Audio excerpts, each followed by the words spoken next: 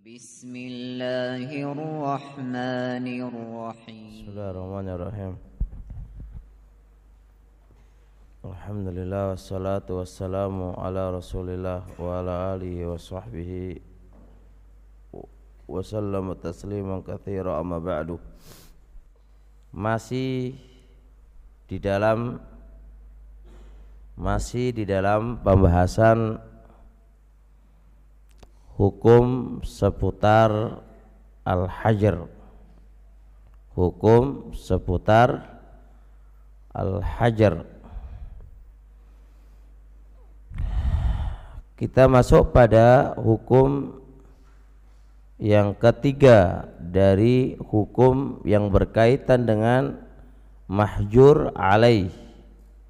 Mahjur alaih ada empat hukum hukum pertama sudah kita lewati hukum kedua sudah kita lewati. Masuk kita pada hukum yang ketiga. Masuk kita pada hukum yang ketiga.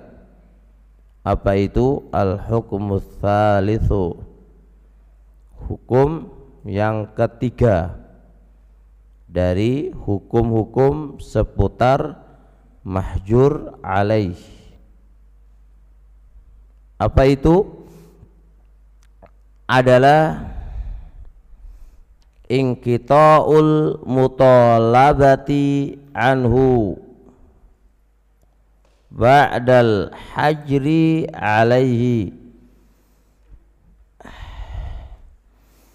Ingkitaul mutalabati terputus di dalam menuntut terputus di dalam menuntut. Anhu kepada mahjur alai setelah hajri alai setelah diberikan hukum hajar atasnya. Ila hukum tidak boleh menuntut itu terlaksana sampai kapan sampai ila sampai. Ayang fakka anhul hajaru. Sampai terlepas darinya hajar itu. Maksudnya paham? Contoh ana saya terlilit hutang. Sehingga saya dihajar diberi surat dilarang pemerintah untuk membelanjakan harta saya di tengah-tengah atau di saat saya ketika saat keluar hukum hajar atas saya tidak boleh ada orang nuntut utangnya Mahfum? Tidak boleh ada orang nuntut hutangnya. Datang, mana hutang saya? Datang hutang saya. Mana hutang saya? Ditutup. Ditutup. Terus bi, diem aja kamu yang yang yang yang merasa mengutangi diem yang merasa mengutangi diem nanti yang bertindak hukum yang nomor empat yaitu pemerintahnya nanti kenapa kok begitu karena mahjur alih sudah dihajar uangnya dia nggak bisa ngapa-ngapain mau jual hartanya nggak boleh. Mau ngapain nggak boleh. Kalau itu ditindas terus dimintain terus mungkin dia bisa stres. Mendingan aku mati daripada dimintain terus gitu kan. Islam rahmah. Islam itu agama kasih sayang. Makanya mahjur alai ketika ada hukum hajar atas dia terputus per permintaan terputus apa namanya uh, apa namanya terputus apa? Penagihan udah nggak ada penagihan. Sampai hukum hajar itu terlepas dari dia. Mahfum ini? Jelas? Faham alung? Sehingga ada masalah baru. Faman ba'ahu au aqradahu syai'an khilala hadhil fatrati. Sehingga barang siapa yang bertransaksi kepada dia transaksi jual beli ada orang transaksi sama dia. Au aqradahu syai'a atau dia menghutangkan barang itu kepada dia khilal hadhil fatrah di celah-celah masa dia mahjur alaih Contoh ini hari saya dapat surat dari pemerintah saya mahjur alai. Pasti ada suratnya mahjur alai. Maka besoknya saya transaksi jual beli. Nggak anak kasih duit lagi. Karena nggak nggak nggak mungkin saya ngasih duit nggak punya duit. Saya nggak akan bisa. Uang, uang saya semuanya terawasi. Nggak boleh saya pakai atau saya apa namanya berhutang ada orang berhutang kepada ana atau ana berhutang kepada A nah di khilal setelah ada SK surat keputusan surat dari pemerintah bahwasanya anak ini mahjur alai tidak boleh melakukan transaksi apa pun bentuknya dari harta yang saya miliki.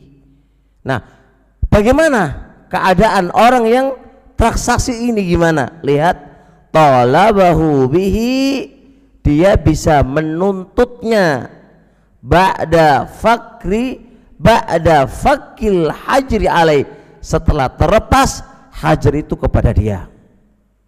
Nah, kalau sudah dicabut oleh pemerintah, si A udah lepas, baru ente boleh menuntut Mafhum?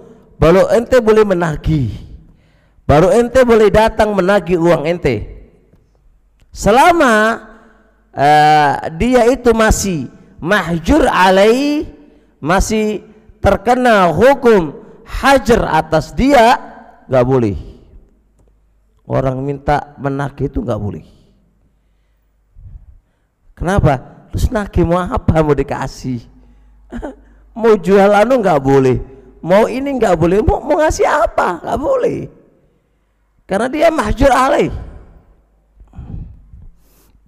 Jelas ya ini? Nah. Itu hukum yang ketiga berkaitan dengan mahjur alaih. Tapi berarti kan al hukm rabi. Hukum yang keempat. Ada hukum yang keempat ini. Terakhir. Al hukm rabi hukum yang keempat dari mahjur alai. Annal hakima bahwasanya hakim. Jadi di pemerintahan kalau berkaitan dengan uh, harta itu semua nanti kembali kepada mahkamah. Mahkamah pengadilan. Yang bertindak adalah hakim. Jadi ada ada kelasnya masing-masing. Ada kelasnya masing-masing. Yang mengurusi bab ini adalah hakim. Pernikahan semua kembali ke hakim. Perceraian tuntutan harta semuanya kembali kepada hakim annal hakim yabi'u malahu.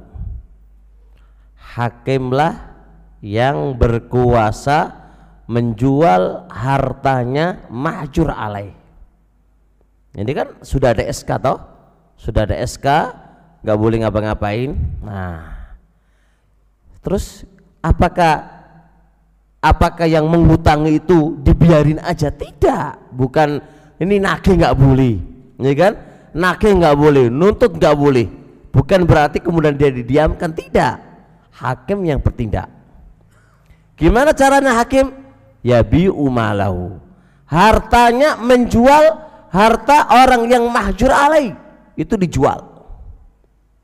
Menjualnya otomatis dengan harga standar harga pasaran. Nggak boleh terlalu tinggi dan nggak boleh terlalu rendah harga pasaran. Kalau terlalu rendah namanya mendolimi dia terus wa yuqassim thamanahu. Dan dia membagi duitnya. Nah, biqadri duyuni wuramaihi al-halati.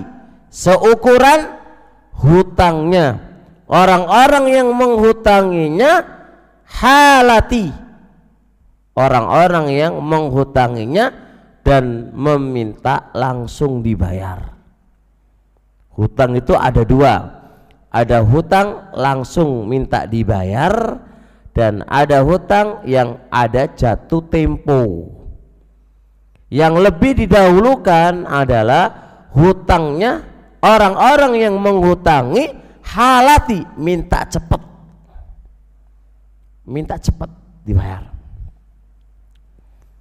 di sini keterangannya global ya Wan ada permasalahan baru. Gimana kalau permasalahan baru? Harta yang dijual itu harta yang dijual itu kalau mencukupi enak. Hutang dia 10 M. Duit yang ada aset yang dia miliki hanya 5 juta. Terus pi ya masing-masing orang nuntut. Mana uang saya? Mana uang saya? Mana uang saya nah ini masalah Fukoha ada dua pendapat. Ada yang mengatakan am, dikasih dikasihkan kepada orang yang lebih lama utangnya. Yang baru itu nunggu. Pendapat ini saya kurang pas. Ya, kapan mau nyaur? kapan mau nyaur? Sedangkan masing-masing butuh duit Ya kan dia sudah bangkrut, sudah lilit utang, kapan mau nyaur? Nah, pendapat yang kedua dan ini lebih bagus insya Allah adalah dilihat nilai utangnya. Kalau A 1 M, 2 500, 3 sekian sekian, uang itu gimana caranya dibagi? Dengan seukuran nominal uang dan kita bisa tentukan persennya mereka biar biar rata lah jadi kalau 1 M, kalau setengahnya berarti berapa? 500. 500 berarti 250. Yang penting mereka nyicipin semuanya dari uang yang ada. Saya ini lebih adil. Sebab kalau kalau kita pakai teori yang pertama, pasti yang yang hutang yang minta yang nggak ada jatuh tempo ya, yang itu segera harus dibayar, ya jelas marah. Mana ini? Usaha kok nggak dikasih ini ini ini Pasti begitu dan ini jadi akan bentrok satu dengan yang lainnya. Justru yang menyelesaikan masalah. Tapi kalau kita bentuk dengan cara adil, kita kasih 30% dari utangnya sesuai dengan dia, sesuai dengan kadar hutang dan kita kasih 30% maka aman. Lihat keuangan dulu.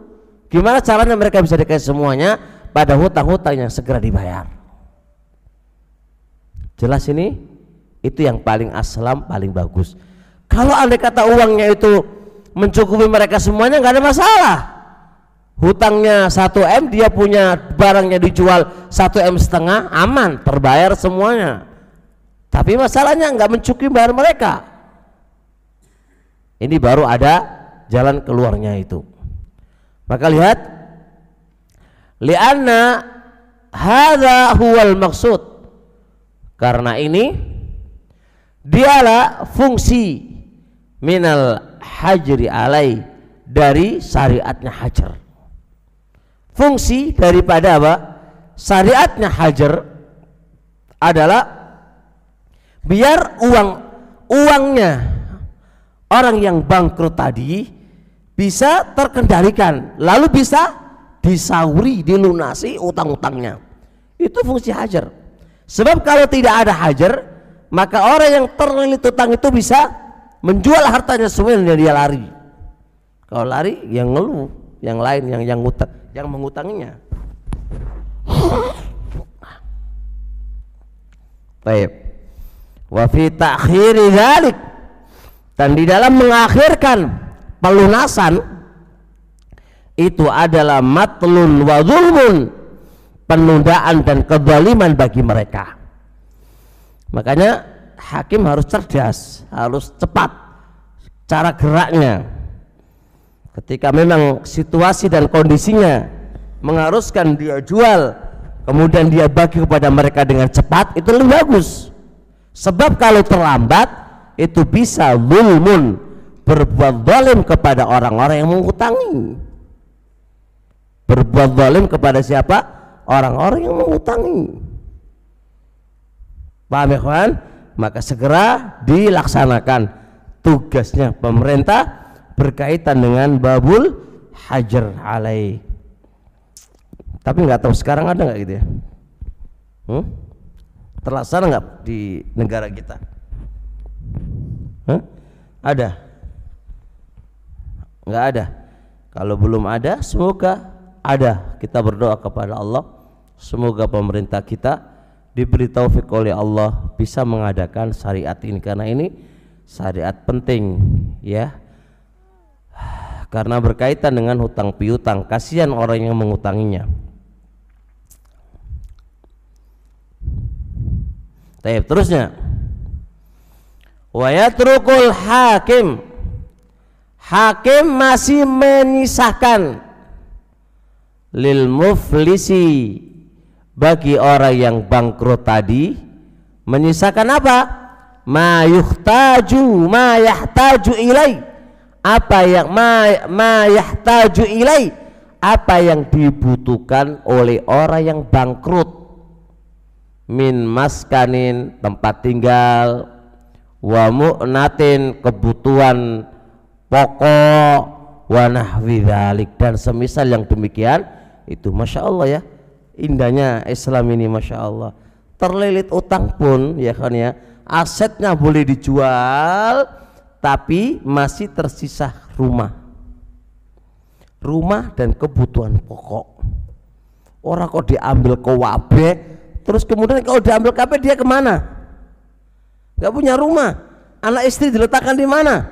Nggak mau tahu. Wah itu jenenge nggak benar nggak benar sekarang insya Allah begitu ya utang bank nggak iso bayar yang jaminannya apa? Rumah dia. Ya wis disita suruh pergi. Terus dia ke mana? Nggak urusan kamu loh kan? Ini nggak benar ya kan ini termasuk kedoliman yang luar biasa. Tetap bagi yang bangkrut yang namanya bangkrut ini kan tetap ada hak yang harus kita tunaikan kepadanya berupa tempat tinggal. Jangan dijual itu pun kebutuhan pokok mungkin mobil. Ya kan? Mobil kebutuhan pokok jangan dijual. Sepeda motor jangan dijual. Kebutuhan pokoknya dia. Kebutuhan primer namanya ya. Ya primer ya namanya. Ya kan? Itu kebutuhan pokoknya dia. Jangan dijual. Masya Allah. Itu sebagaimana ada pertanyaan tadi ini. Terus gimana dengan makanan pokoknya dia, rumahnya dia nggak dijual oleh hakim? Nah, bagaimana jika dihajar terus bagaimana makan dan biaya sekolahnya anaknya? Sekolah anaknya kebutuhan pokok nggak ya? Hah? Ya, kebutuhan pokok nggak sekolah terus piye terusan? Masih kebutuhan pokok. Kebutuhan pokok. Sekolah, ya mangan, minum, ya, kebutuhan pokok. Terus Ahmad dainul muajjal adapun hutang yang masih ada tempo masih ada tempo setahun dua tahun tiga tahun masih ada tempo sepuluh tahun. Nah, gimana ini? Fala yahillu bil iflas. Makna fala yahillu bil iflas. Uangnya itu tidak hilang. Disebabkan karena dia bangkrut fala yahillu. Tidaklah hilang duitnya dia tidaklah hilang duitnya dia bil iflas disebabkan dia bangkrut. Suf, walaupun bangkrutnya kayak gimana yang namanya hutang tetap hutang. Tidak akan hilang itu hutang disebabkan dia bangkrut. Tapi wala yusahim hutang yang memberikan uh, hutang yang ada tempo la yuzahim tidak bisa mendesak. Duyuna al halata hutang-hutang yang harus dibayar langsung. Nah ini kan harta nih. Harta ini kalau dibayarkan kepada hutang yang segera dibayar itu aja nggak cukup. Apalagi hutang yang ada masa tempo paham? Maka yang didahulukan apa? Hutang yang segera harus dibayar. Akad-akad perjanjiannya yang harus dibayar lebih dulu itu yang didahulukan. Makanya hutang-hutang yang, yang yang ada masa tempo itu nggak bisa mendesak nggak bisa menabrak kepada hutang-hutang yang harus dibayar segera. Nggak bisa nabrak. Kenapa ya kawan? Ini segera dibayar ini masih ada masa tem tempo jelas? Jadi harus ada yang didahulukan dan harus ada yang diakhirkan. Kenapa? Li'annal ajalah karena masa tempo hakun lil muflis kewajiban bagi orang yang bangkrut. Falayas kutu maka tidak gugur. Walaupun dia bangkrut gak gugur tetap dalam tanggungannya dia walaupun dia bangkrut kasairi hukukihi semisal semua hak-hak yang telah dibebankan kepada dia tetap tidak gugur sehingga wayapko hutang yang masih ada tempo tadi fi muflis di tanggungan orang yang bangkrut tadi. Jadi jangan dipahami hutang yang apa? Hutang yang masih ada tempo itu wah iki berarti hilang. Tidak hilang. Tidak hilang, tetap dalam tanggungannya orang yang bangkrut tadi. Tinggal kapan dibayar urusannya Allah nggak tahu. Barangkali dia dapat rezeki dari Allah, dia bisa membayar utang-utang kamu kepada di hutang-hutang dia kepada kamu tapi tetap bagaimanapun keadaannya semelarat apa pun dia semelarat apa pun dia kalau yang namanya hutang tetap hutang tidak akan gugur. Mafum? maka tetap dalam tanggungannya orang yang bangkrut. Taib.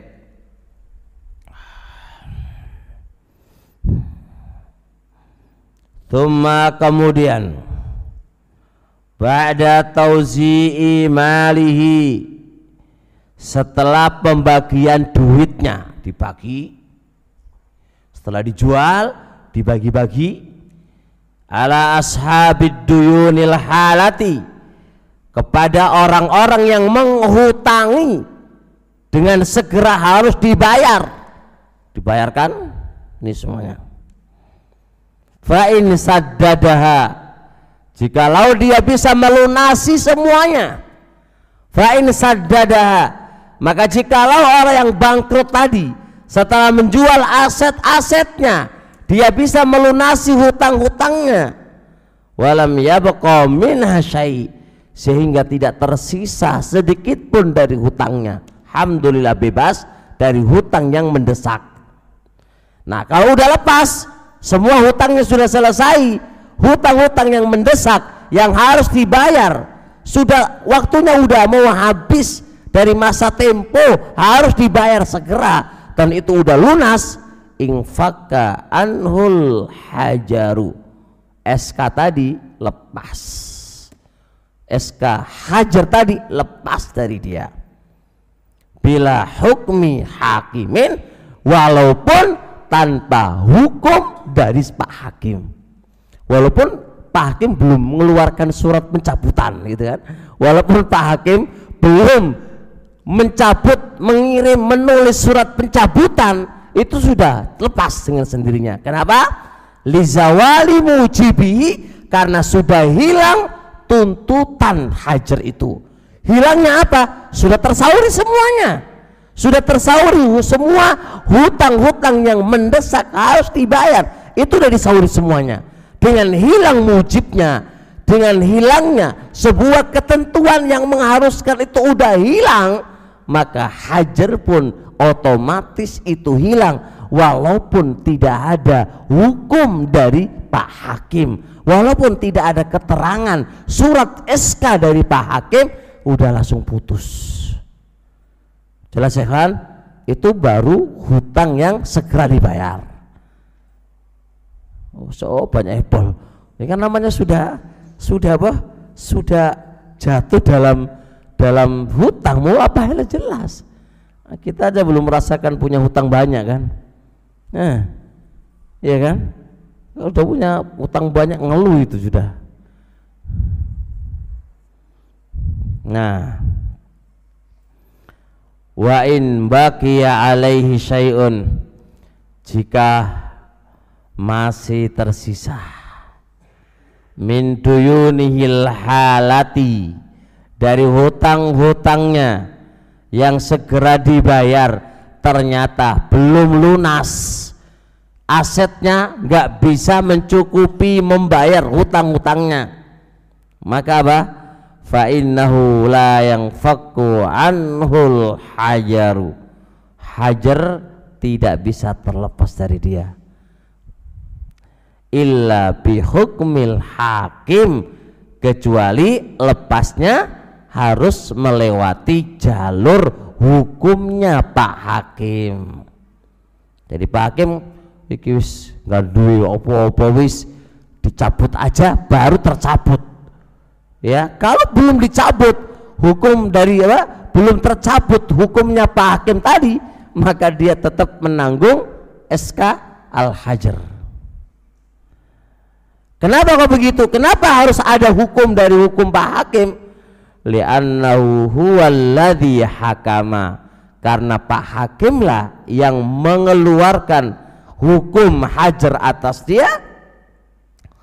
Fawalladzi otomatis dialah yang menghukumi bifakil hajari alai dialah yang melepas dia yang mengeluarkan hukum hajar maka dia yang menuntut harus mengeluarkan hukum itu hukum terlepasnya. Kalau enggak masih belum terlepas. Itu kapan?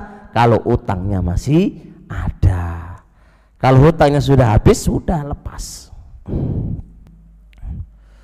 An macam yang kedua. Min anwa'il hajri dari macam-macam al-hajar dari macam-macam al-hajar maka nasihat ulama Sulaiman Ar-Ruhaili hafizallahu taala nasihatkan kepada kita-kita kita walaupun keluar dari sekolah tetap harus murojaah anda jangan terki, terkicau dengan gelar Anda sudah menjadi Syekhul Islam di masyarakat Anda.